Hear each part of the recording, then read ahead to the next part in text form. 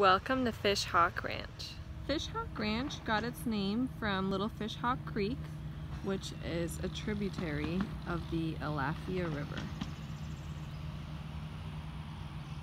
There are trails here, clubhouse, picnic table, an aquatic center, a gym, tennis courts, lakes, ponds, and it's also the first ever certified green new home community in Hillsborough County. Another awesome amenity that Fishhawk offers is its shuttle to MacDill. So a lot of military families actually move to Fishhawk and take the shuttle.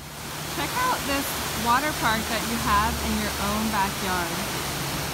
Fishhawk has condos, townhomes, paired homes, and single family residences.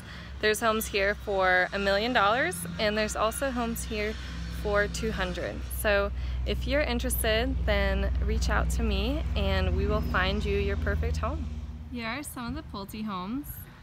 So the average sale price in Fishhawk is 441,000, but there are some cheaper options like these which start in the 200s.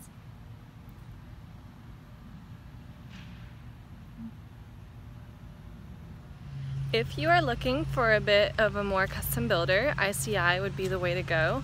Um, I am here in the ICI portion of Fishhawk and they pride themselves on not making their homes cookie cutter at all.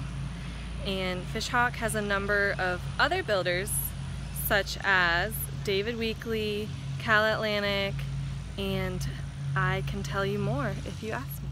Here is one of the model homes right now. It was actually the Tampa Parade winner, the grand winner for 2016 and it is an absolutely stunning home built by ICI. So since Fishhawk started in 1990s, there are already some established neighborhoods here. So if new construction isn't your cup of tea, Fishhawk also has that option for you too. So between its A-rated schools, A-rated amenities, and a wonderful neighborhood all in all, Fishhawk is a great place to live. So if you're interested in moving here, give me a call.